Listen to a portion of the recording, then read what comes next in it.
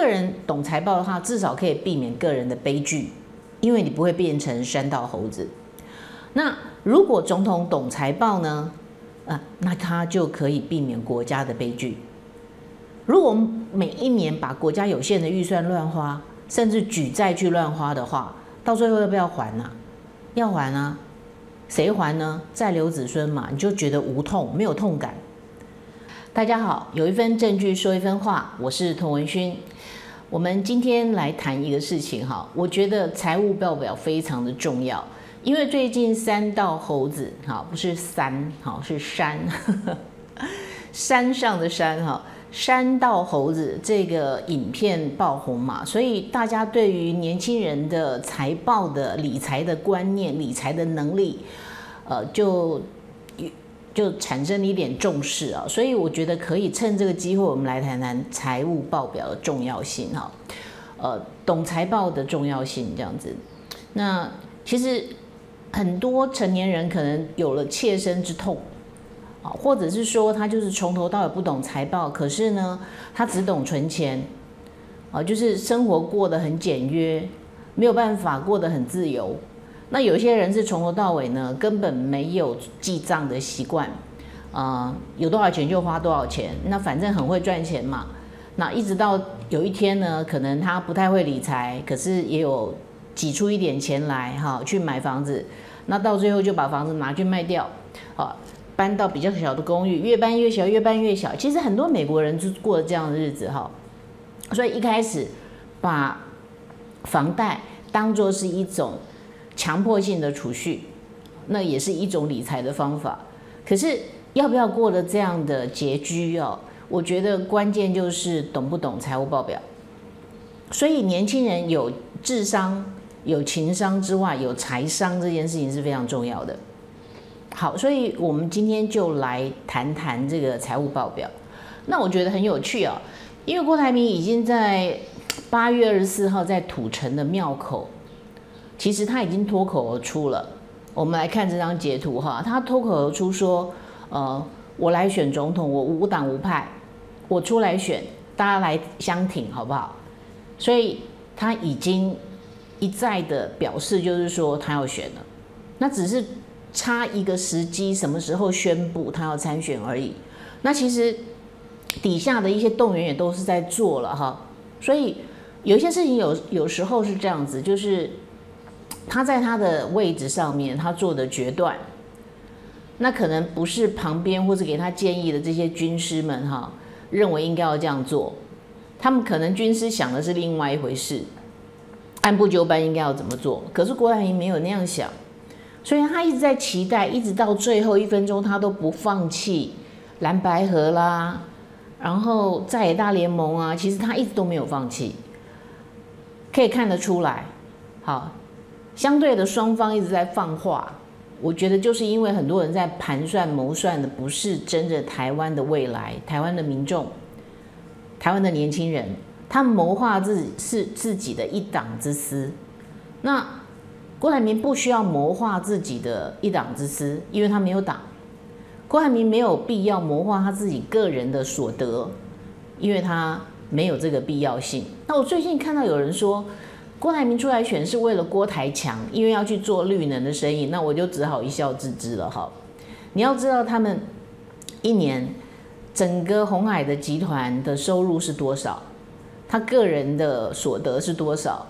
绿能其实是这些大小政客们好口袋还没有填到足够饱啊，才会去打那个计划。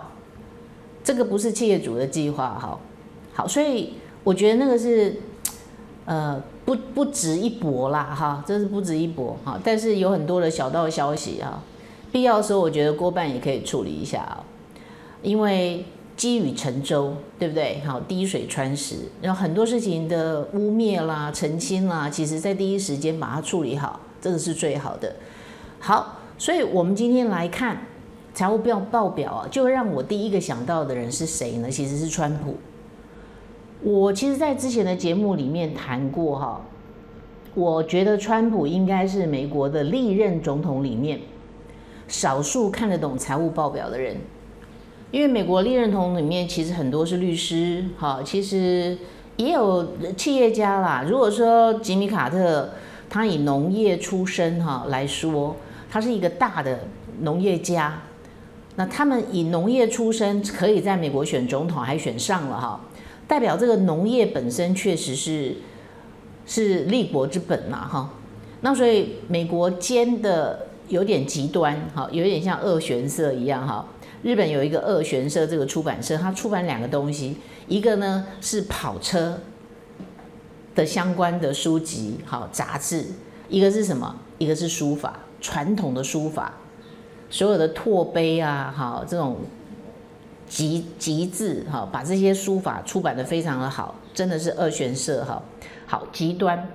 那这个美国也是极端，美国在科技界、高科技界领先全球，哈，可是，在农业呢，它仍然是一个农业大国，所以农业立国之本这件事情是不可以放弃的。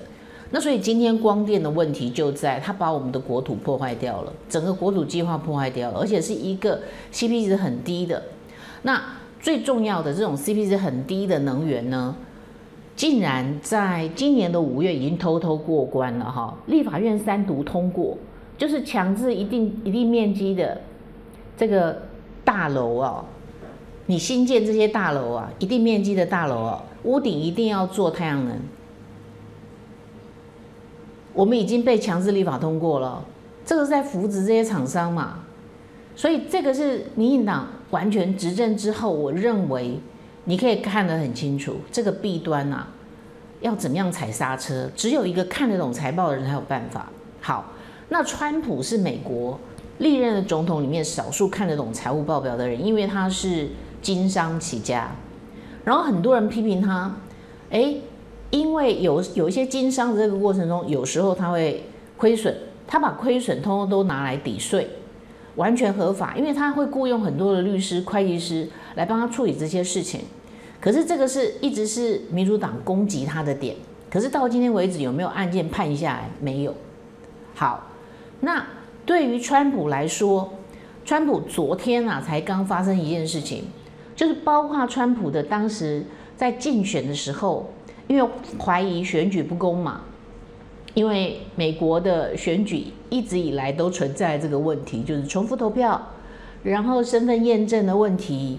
好，然后甚至有邮寄的投票的这种通讯投票的的呃有问题，或者是数位计算出了问题这样子，所以当时选完之后，在争执这件事情的时候，在乔甲州啊，就有就有人认为说，川普当时跟这几个律师啊共谋要怎么样，要破坏选举，哎，这个有点像颠覆政权的罪哈，呃。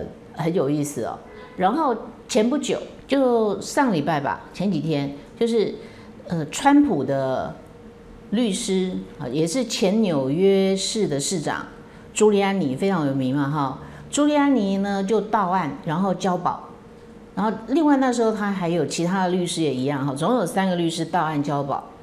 那前天呢，就是川普自己到案，然后也交保，是用二十万美金交保哈。那其实中文的翻译，这些媒体翻译有时候这个就翻错了哈。那大家看了就笑一笑了哈。Surrender 这个字哈，在法律上的意思哈，并不是说他去自首，好，不是自首，而是到案。它的法律上的翻成中文的名词应该叫做大案，因为什么叫自首呢？自首就是说，在还没有侦防的这些人，哈，不管是检察官还是警察，负责侦防这些人呢，发现了这个事情，然后追弃你，或是通缉你，或是通知你到案，都还没有这些事情之前，你主动到案，那个叫自首。那至于说已经有事情了，然后我传唤你来，你自己主动来报道，这个不叫自首，这个叫做投案、到案。好，所以川普呢？这个前天就主动到案之后，最后二十万交保。那可是对于川普来说了哈，这个是坏消息还是好消息？越是司法追缉好追在川普后面追得越紧，那共和党的选民、川普的支持者呢，就越认为这是一场政治迫害，就越支支持这个川普，所以川川普的支持度非常的高。那我们可以预期，就是二零二四，因为司法已经启动了，所以二零二四川普势必会花很多时间在干嘛呢？在开庭，这会不会影响他的选情？到目前为止，很多媒体以及政治评论员都认为说，这个可能反而有助于川普的选情啊。这个是因为川普，所以我联想到一件事情，就是其实川普因为他是一个企业出身的一个总统，所以他已经在之前受到了完整的训练。这个完整的训练就是什么呢？他会看财务报表，会看财务报表跟不会看财务报表的总统差别在哪里？不会看财务报表的总统，大概每一天就是看法案、听幕僚报告，然后这个法案要不要签，那个法案要不要过，他们评估的是什么？每一天看滚动式的民调，看支持度。可是川普多了一个什么东西？他会看哪一个东西的经济效益高，可以创造就业机会，可以让经济呃回温。他的考虑会是这这些部分，这是其他的总统所缺乏的。所以在川普短短四年的任内，他可以让美国的经济达到一个新的高峰。他敢于向中国发起关税相关的战争，反倾销嘛，所以把美国的失业率降到有史以来的最低。我认为这是一个会看财务报表跟不会看财务报表的总统的最大的区别。那所以，我们今天的标题谈的是什么呢？我就联想到说，今天已经宣布要参选的总共有四组人，一个是柯文哲，我认为他最后会退选。好，一个是国民党提名的侯友谊，啊，不知道能不能熬过九月，哈，会不会被换掉？然后再来是已经宣布要参选的郭台铭，啊，当然。绿党啊，绿营哈，就是民进党哈，集于一身嘛哈，就一直以来从头到尾初选之后，就是事实上初选他一个人选而已，就是赖清德。这四个人，请问各位，如果我们今天总统是用考试的，当来考试啊，你要来应征，对不对？所以有时候应征的时候要经过那个应征的时候要考试，考什么？我们来考财务报表。那请问这四个人哪一个人可以及格？哪一个人可以高分通过？或是哪几个人可能会考不及格呢？来，我们下一段进来。良好的睡眠品质是维持健康的不二法门。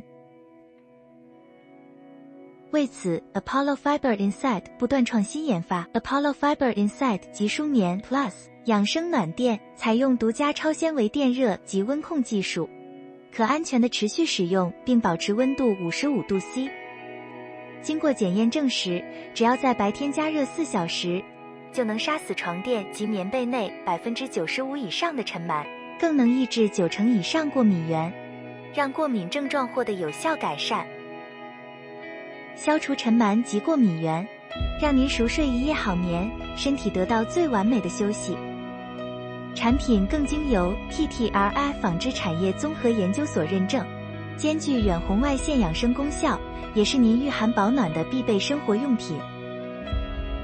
发热式防螨根除，让您健康一把照。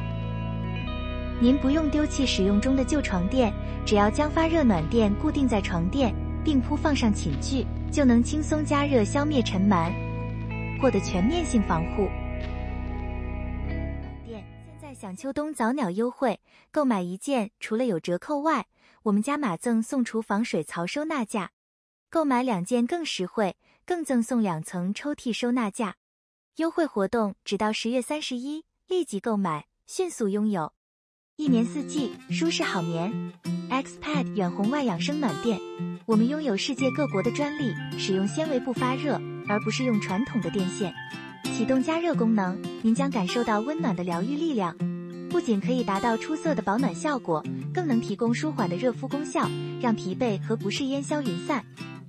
检验证实，加热四小时可以去除百分之九十五的尘螨和抑制九成以上的过敏源。最重要的是，我们坚持采用零电磁波技术，确保您和您的家人在每一个温暖时刻都远离电磁辐射的困扰，将健康放在首位。我们为您带来了特别优惠，限时折扣不容错过。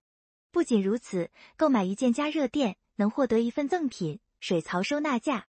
更有惊喜！如果您选购两件加热垫，我们将送上双层抽屉收纳架，为您的居家增添更多便利。优惠时间只到十月三十一，不要犹豫，现在就选择我们的床铺加热垫，获得折扣、赠品以及更多居家便利。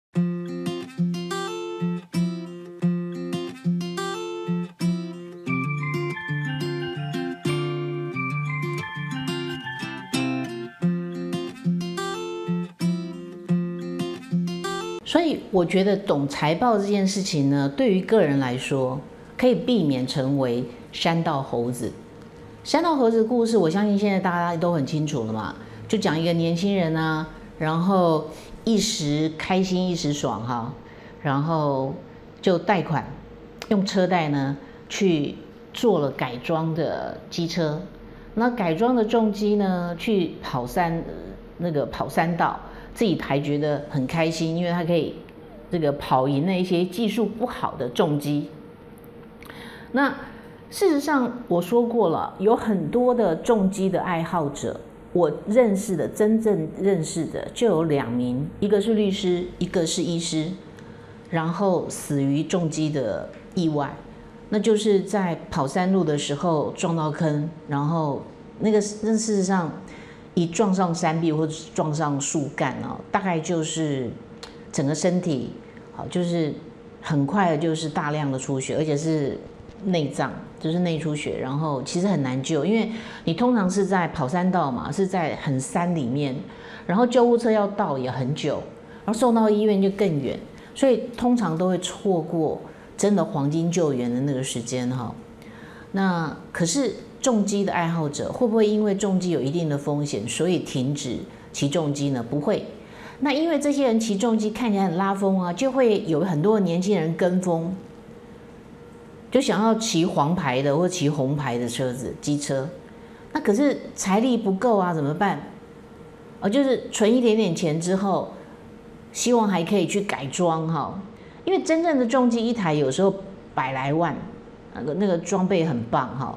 那我在看到美国，有时候你会突然可能在喝咖啡啦，或者是你开车的过程中，听到旁边哦那个很低沉的嘣嘣嘣嘣那个声音哦，就是一群哈雷的爱好者，然后穿的那种皮革啊，然后打那种那个金属的钉子啊，穿的很很有意思哈，然后慢慢的骑过你旁边。我很少看到美国的重机在飙车哈，那他们的。道路的安全性以及道路的平整，这个设施的状态啊，其实跟台湾不太一样。台湾有很多山道，在地方政府的呃治理之下，哈，呃，状况其实不太好啊，常常有坑坑坑坑巴巴的。所以适不适合飙车，我真的打一个问号。再来，那个是平常的马路。有很多用路者在使用那个马路，大部分的山道都在做什么呢？就是我们的山区里面的农产品要运下来。好，那现在的问题来了，就是为什么有那么多山区里面的农产品呢？台湾啊，光是每一天要吃掉的高丽菜，就是用几十万吨来计算。我们水饺也是高丽菜。对不对？便当也是高丽菜，所以我们是高丽菜的重度的这个食用的这个国家。那需要这么多的面积来种高丽菜，那平地呢？我们的农地有很多已经拿来怎么样？有的是修根啊，有的是拿来盖房子啦，有的拿来种电啊。所以平地不种了，就往高高山去种了，往山坡、往高山去种，然后大家就觉得说。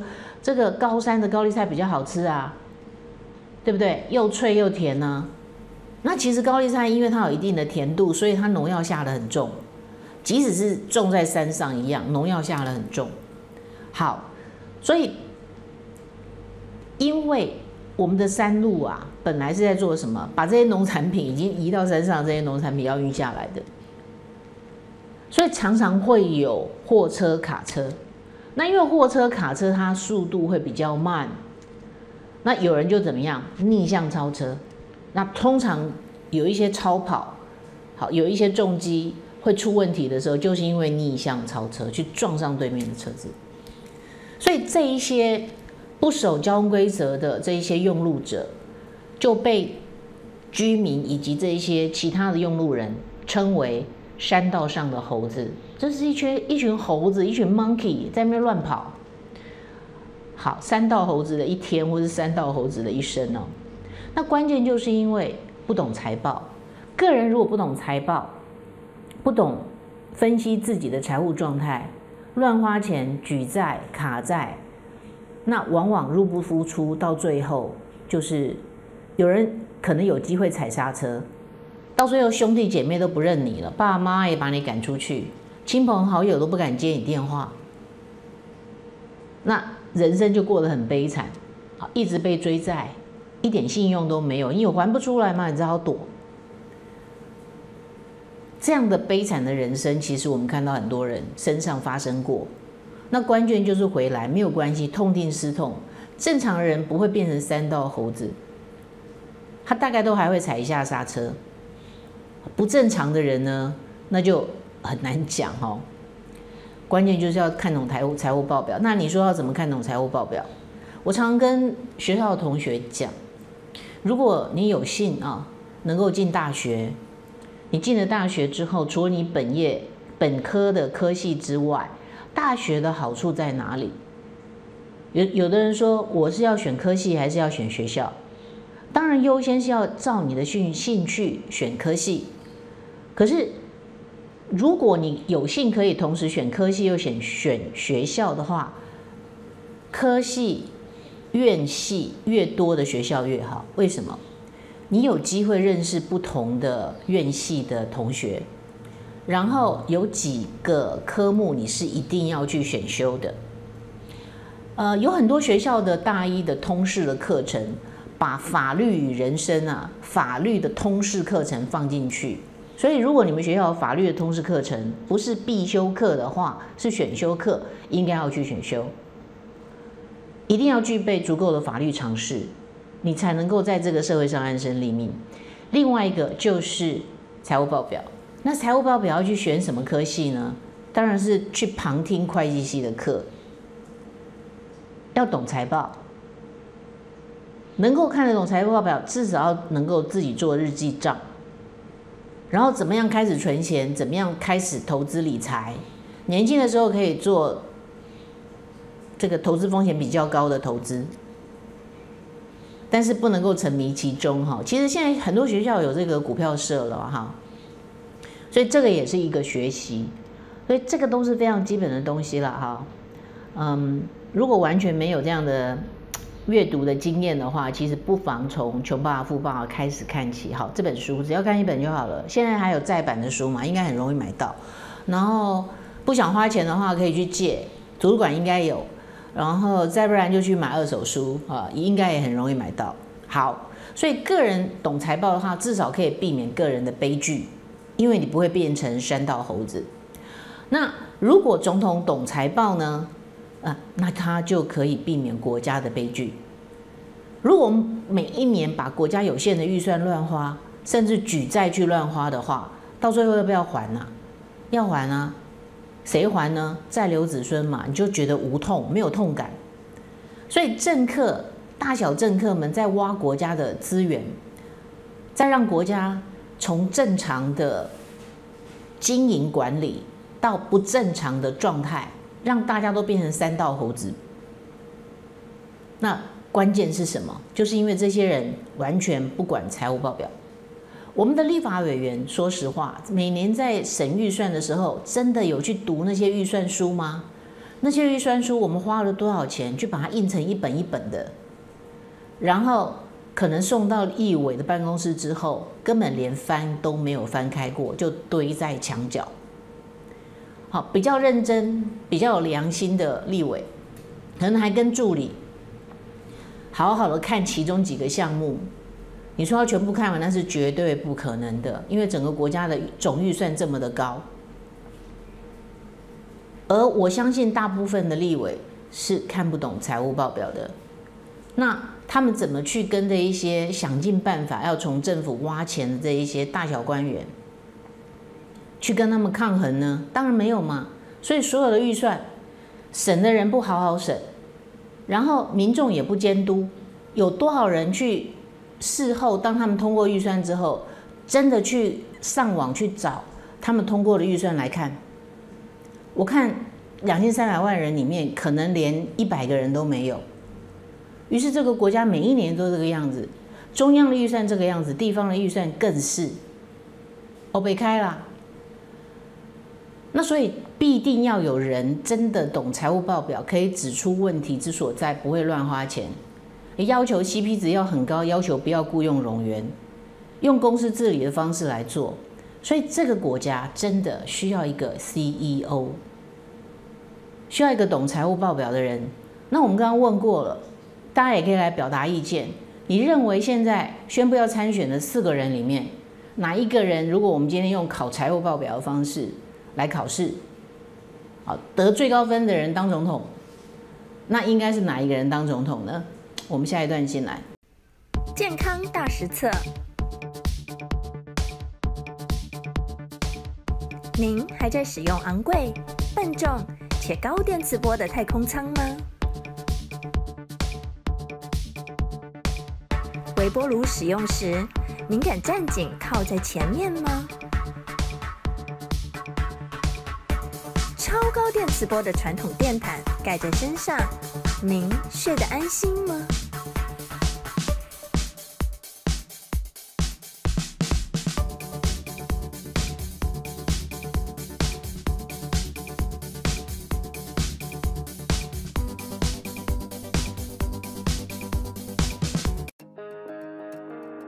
秋天的凉意渐渐逼近，你是否担心睡眠品质下降，无法在冷冽的夜晚温暖入眠？不用担心，这款 XPAD 远红外养生暖垫将成为您秋季的必备凉伴，让您拥有舒适而健康的夜晚。我们的产品与众不同，具有多项特点：零电磁波，给您安心的使用体验，远离电磁波的扰动，让您拥有真正放松的夜晚；节能省电。环保省电是我们的宗旨，我们采用高效节能技术，为您节省能源费用。安全防触电，均温不烫伤。我们的床铺加热垫经过严格测试，确保安全可靠，给您温暖的同时，也让您放心。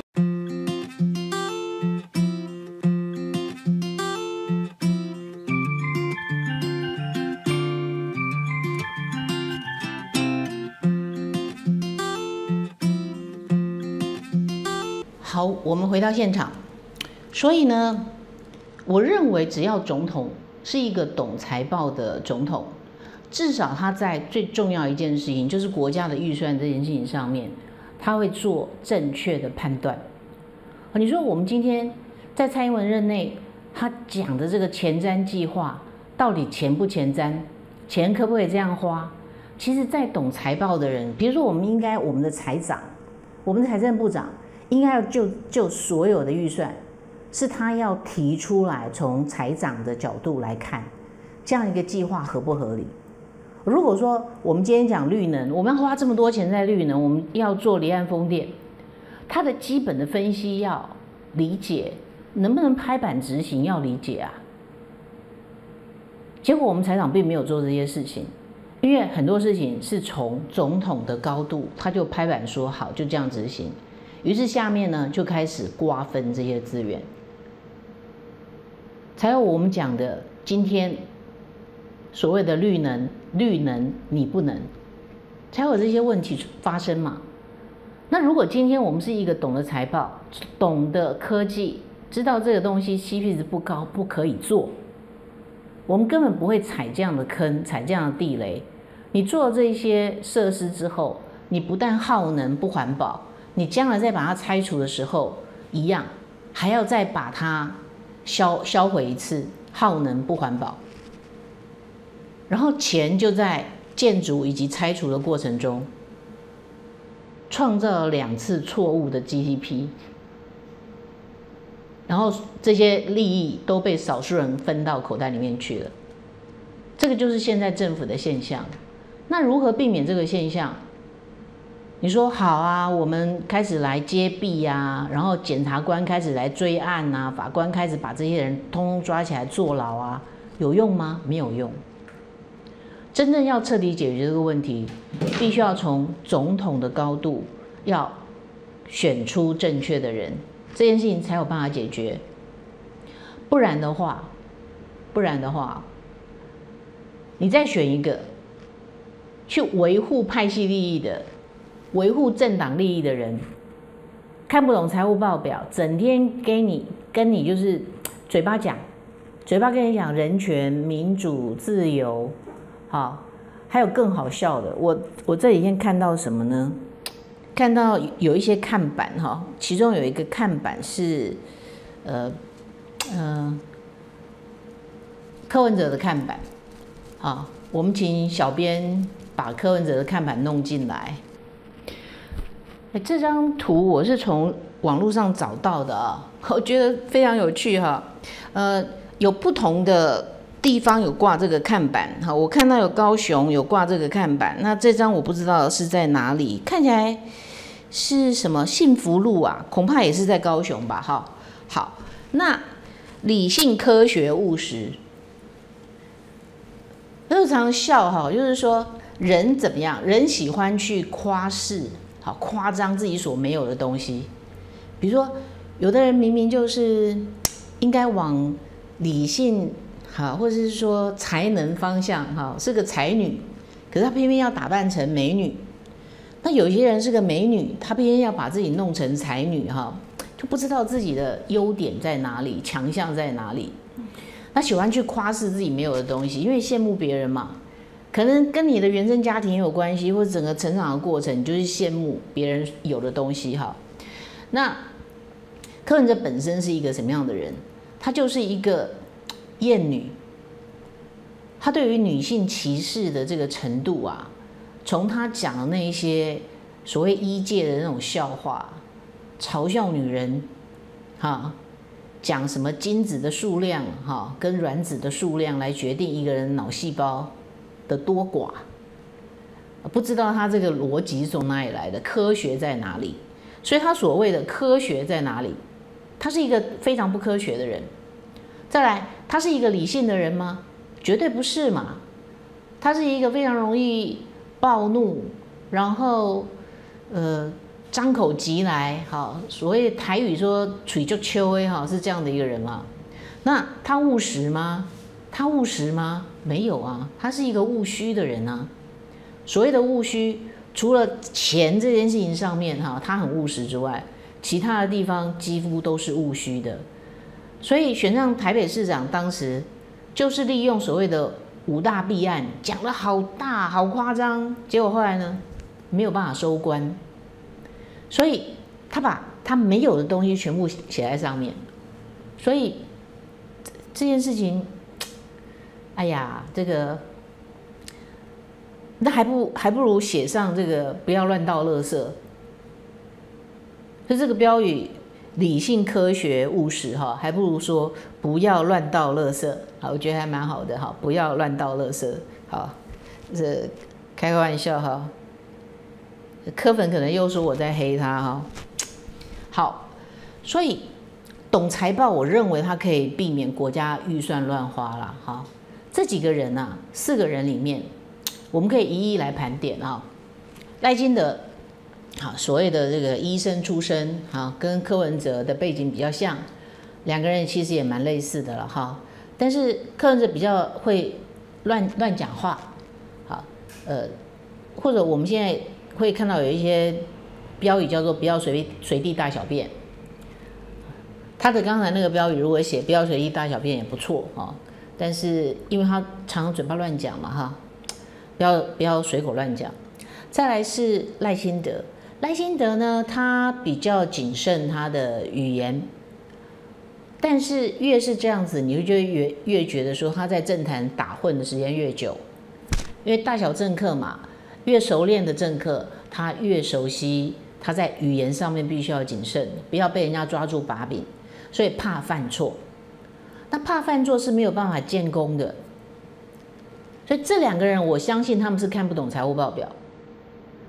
然后即使在地方政府都执政过，赖清德也当过行政院院长，但是他们在科技上面，往往因为没有公司治理的经验，没有国际观，他们两个应该是没有办法进行英文对话的，跟郭台铭完全不一样。那另外一个人是这个侯友谊。号称哈侯友谊、柯文哲、赖金德，他们好像都有博士学位。可是你们真的有感受到他们的博士学位所散发出来的一个博士在研究的精神，在讲真话、讲真心话，有一分证据讲讲一分话的这样的一个表现，在他们平常的。言谈举止中吗？没有，我一点都不觉得他们三个人是博士毕业，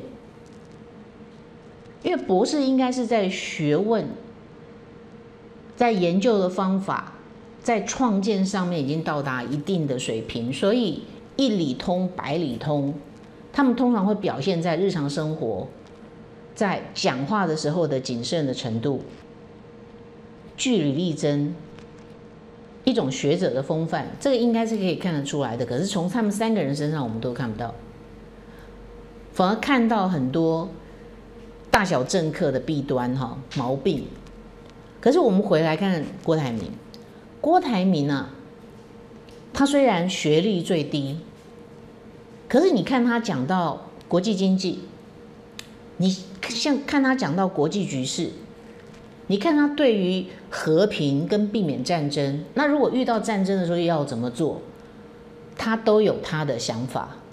这些想法其实跟你在二十岁的时候，你是不是有完成一个不得了的学历，拿到一个不得了的文凭，真的是一点关系都没有。人不能从毕业那一天开始就拒绝学习，那你就白活了。你每一天过的都同样的生活，你没有学习，你没有进步。可是郭台铭他必须要接受不断的挑战，因为国际贸易不是那么容易的一件事情。你光是进出口多少事情要申请，你光是财务，啊，财务跟会计不一样，出纳跟跟财务不一样，对不对？财会要分家，政府会一直找你麻烦，然后你到国际去。做贸易的时候，你就会发现说有智慧财产权的纠纷呢，那怎么解决智慧财产权纠纷？你要申请专利，你要申请商标，到最后你要养一个庞大的律师团。有一些专利申请来不是为了要攻击别人，而是为了要防御。所以各各方面各领域要学习的事情有多少？然后你的产品要跟其他的人有竞争力。所有的公司都在这各个领域在使出浑身解数，你能够拿到订单，你能够变成世界第一流的代工厂，然后首创这个关灯工厂，这件事情这么简单吗？不简单。当然，这不是一个人可以完成的，你必须要知人善任。所以，从企业的训练成功，他用的是自己的资本；从自由市场去银行借款都没有关系，他用的是自己的资本，他没有用国家的资源。那他历练完成了之后，到今天已经完全成功了。所以他可能练完了，大功告成。他练完了这个宝典之后，他想要把他的功力用在国家，有没有机会？台湾真的，我们不需要这些大小政客，我们需要一个 CEO。我们要的不过就是幸福快乐的日子，所以呢，政府应该要廉能，对不对？你去行政机关办事，它必须要有效率，对不对？不应该有冗员。再来，升迁应该要正常。公务人员的升迁常常出问题，为什么？有关系就没关系呀。往政党靠拢，你可能比较容易升迁呢。那你为了那份退休金，你也不敢抗争啊。所以有时候政府机关有一些冗员，是到了天怒人怨的地步，可是你又换不了他，他就不做事，他就待在那里。那你帮他做，你永远做不完。所以怎么办呢？就要有一个好的主管呢。可是好的主管没有出现呢，因为大家都在看脸色做事。这个在私人企业早就可以解决，可是，在公务机关为什么变成让有能力的人没有办法上来？反淘汰、劣币驱逐良币，然后黑官一大堆，或是想尽办法去搞黑官。像高文安、民众党这个事情，去把你的党员同志叫他们去回捐到党部，或者是你聘的人，事实上直接是在党部在跟着柯文哲的行程。事实上，柯文哲在台北市长任内的时候，有没有这样去利用预算？然后去其他的机构去去抓人过来，预算在你这个机构，可是人在我身边，当我的小编，当我的竞选团队，有没有？有啊。我觉得，尤其是医院的系统，台大、台湾、台北市有一个联合医院系统，到底这些人他的薪资是挂在哪里？薪资挂在联合医院，薪资挂在可能优卡公司。然后呢，人在做什么事？所以只有这一些大小政客才会熊康熊胖去挖钱。可是就靠郭台铭来说呢，他就是那个一直有人熊康熊胖，可是他必须要把一个公司治理好，他就要知道怎么防弊。揭弊不是重点啦，揭弊讲了就好了。然后呢，怎么防弊？再来，怎么样创造利润？这真的是需要一个 CEO 才有完整的训练跟经验。他的有很多的经验是我们连想都没想过的，因为没有经历过。那你为什么不好好用这样的一个人呢？对他来说，总统的薪水根本一点都不不算什么。他说他只要象征性的领一块钱，其他的钱都要捐出来，这个我相信。他说零到六岁国家养。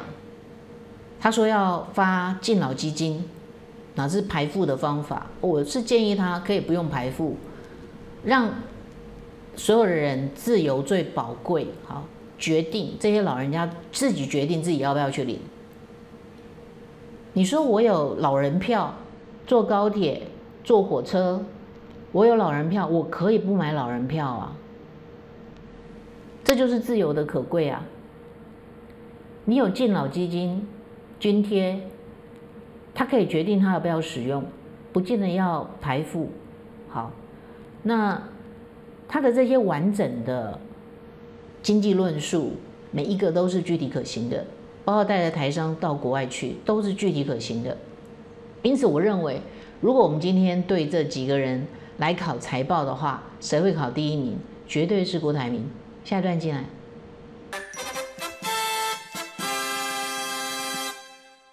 SPA 可以疏通筋骨、消水排肿，让自动伤害远离你。但是你知道，当我们赤裸的身体放松时，自动加热的放料床是一张充满电磁波的垫子吗？SPA 店为了防止顾客受凉，都会在放料床上铺一张暖垫，试着用手指划过那张暖垫，你会发现微微凸起的异物，那是密布的电线。利用电线过负载发烫产生的物理现象来发出热源。过负载发烫其实很危险，它是让电线一直处在烧起来的边缘来达到发热的效果。这种电线呢，通常使用期限也不长，因为高温反复的加热让电线的包覆材料容易脆化，就会有漏电导致触电的危险。这种交流电的电毯很常见，九百到四千台币的价格，中国跟韩国货居多。但是呢，这种产品的电磁波比运转中的微波炉还高，对身体的危害很大。现在在我手上这个呢是电磁波的测试剂，我们把它打开来测一下。打开之后呢，发现哎它会有一个数字，那我们稍微转换一下单位，我们把它转换成毫高斯，会出现零点三到零点二在跑。那为什么会有这个数值呢？因为我们这个环境中它有 WiFi，墙壁有电线，还有其他环境中的电器，包括手机发出来的讯号，这些都会发出电磁波。再来呢，我们测测看手机的电磁波。好，拿出我的手机，我们来看一下。就发现说它的数值，哎，差不多来到零点三、零点四的毫高斯。好，我们来看一下运转中的微波炉，它的数值是多少？好，把微波打开，按一下微波。好，发觉说呢，大概九十、十一、十二，数值差不多落在十一、十二的范围。好，那我们来测一下一般的电毯，我们先把它电线接上。那一般的电毯呢，它是没有变压器的，就是这样一条电线，它就是交流电。好，我们把它插上之后，把开关打开。好，我们来测一下它的电磁波。好，可以发觉，哎，有到三十几、五十几、六十几。我这边来到，刚刚甚至跳到八十几哦，二十几、三十几，其实数字非常的高，就跟一台运转中的微波炉一样，非常的惊人哦。除此之外呢，传统电毯还有烫伤的风险，所以它使用的警语是只能当盖被，不能当热电。因为传统电毯在运作的时候，电线的温度其实是很高的。要是身体在压到电线的状况之下，等于直接接触电线的高温，很容易被烫伤。所以一般人使用的方法都是错误的。因此呢，严重烫伤的报道时有所闻。如果你家中还有这种传统电毯的话，建议你不要再用了。你就赶快把它丢掉吧。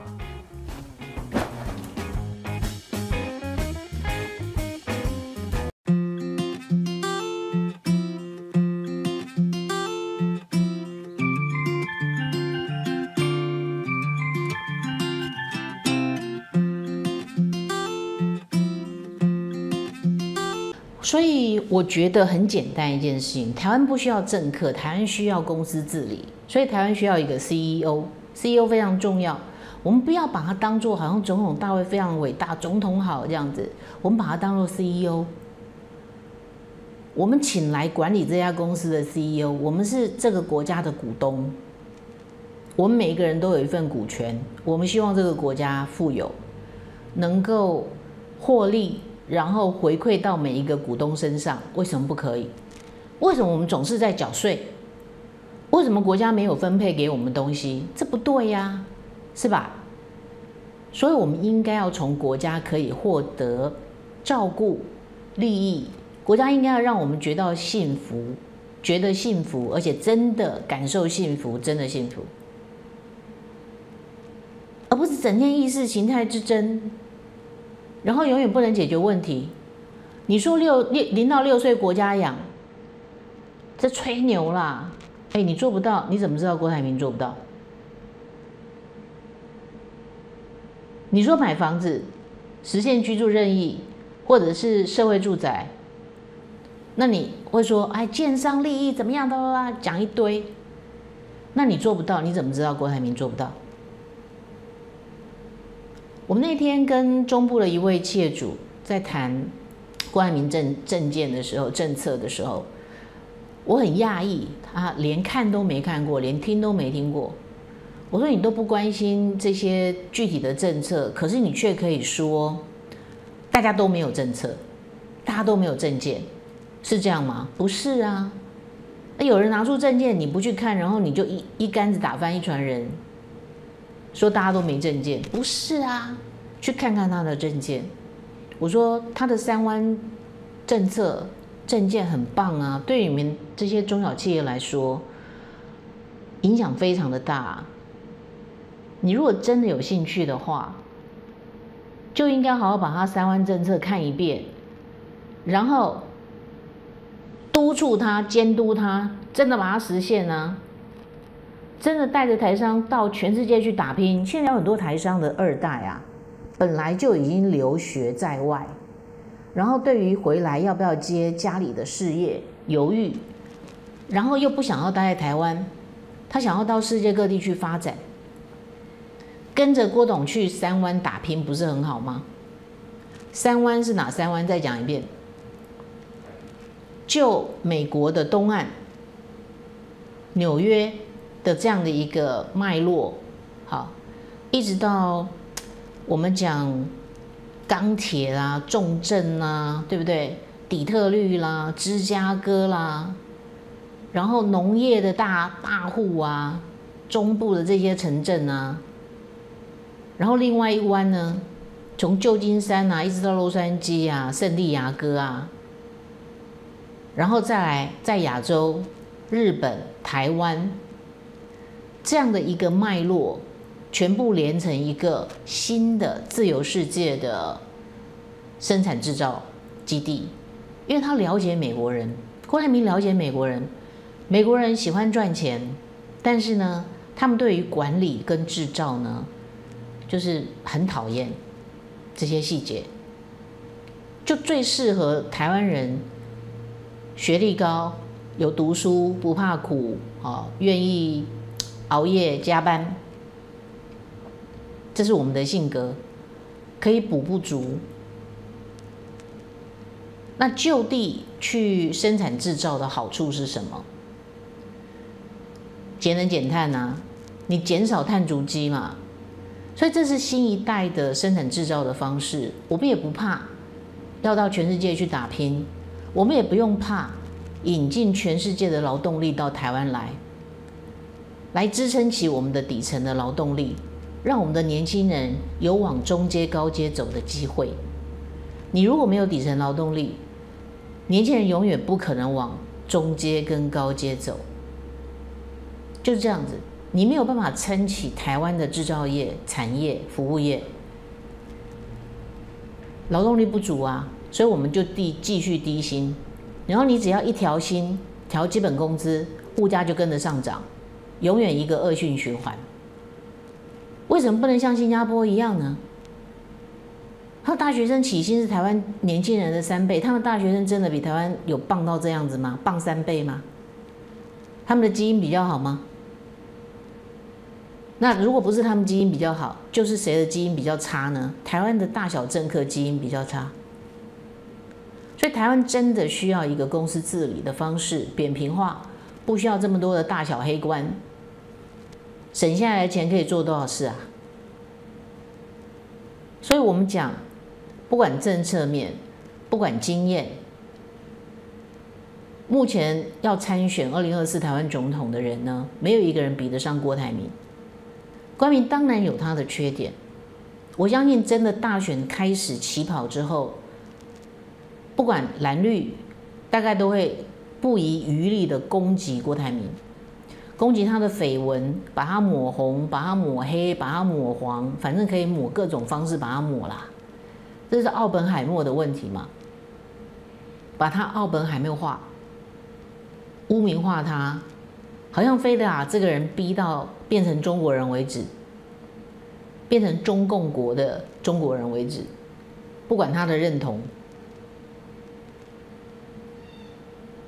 所以这不应该哈，我们好不容易有这样自己的子弟，哈，认同台湾，在台湾纳税。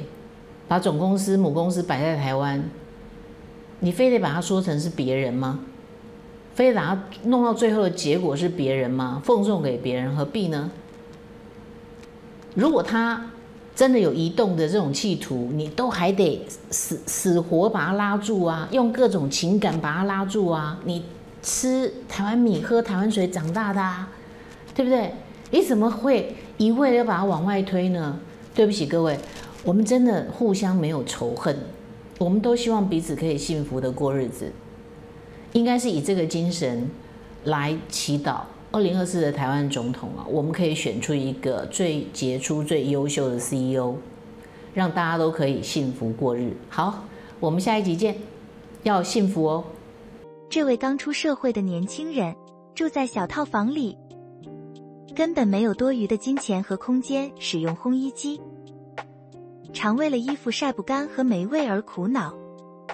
幸好这位年轻人认识了创新科技的我。